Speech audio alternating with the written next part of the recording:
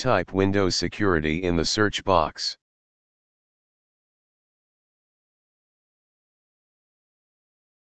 Open Windows Security. Select Virus and Threat Protection. And select Scan options.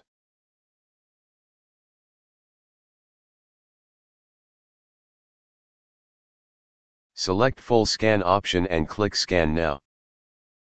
Wait for some time. If errors still exist go to another method.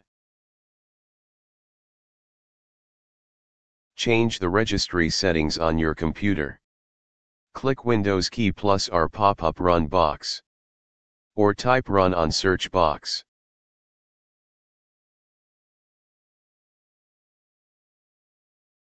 Type regedit.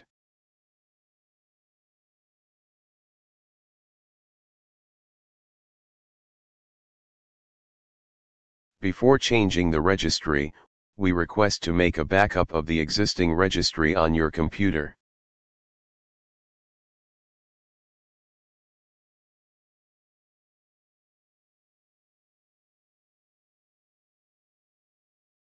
When the registry editor opens up, on the left-hand pane, expand the path on the screen.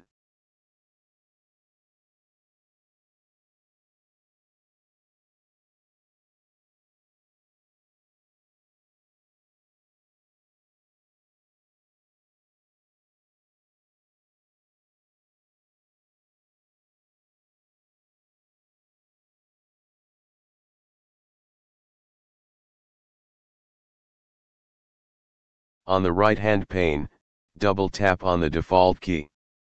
Set the value to VBS file. Then, click on OK to save the setting.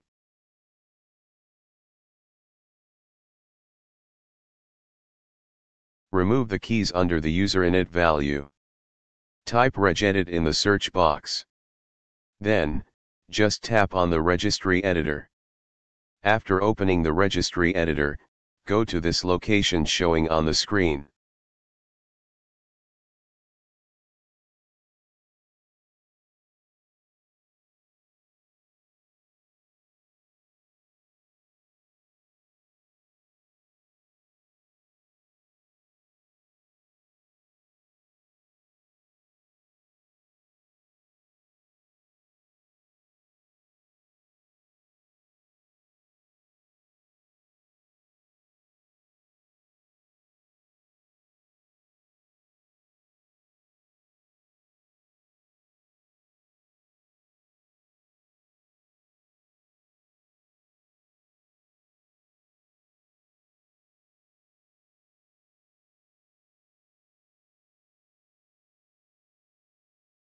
Now, select the keys under the user init value and right-click on it, and click on Delete.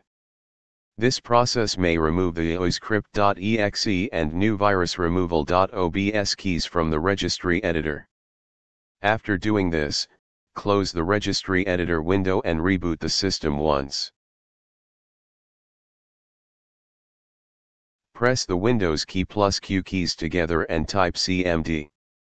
Then, right-click on the command prompt and click on Run as Administrator to access the terminal. In the command prompt terminal, copy-paste these three codes one by one and then hit Enter. After that, close the command prompt window. With the help of Autoruns to identify the startup.vbs process on the system and remove it from the system. Select the link from description box. Open in browser.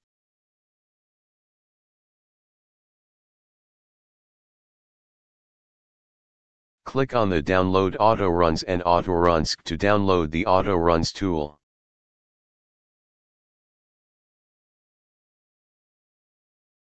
After extracting the file, go to the location where you have just extracted the file. Right-click on Autorun 64 and then click on Run as Administrator. Just tap on the Agree Agree with the license agreement.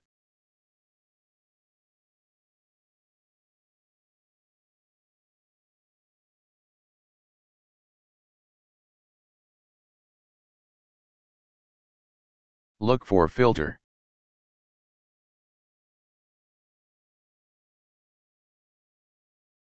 Then write a script in the box. Once you have seen the processes, right-click on the process which is using running the script file, and then click on delete to delete it. Restart your computer.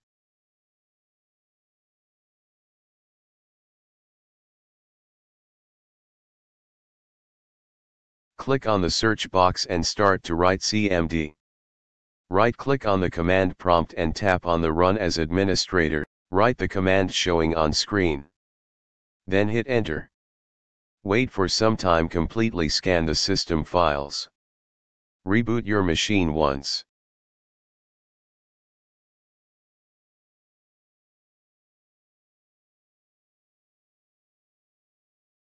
Right-click on the Windows key and click on Run. Write rstrui in the box. Then, click on the OK.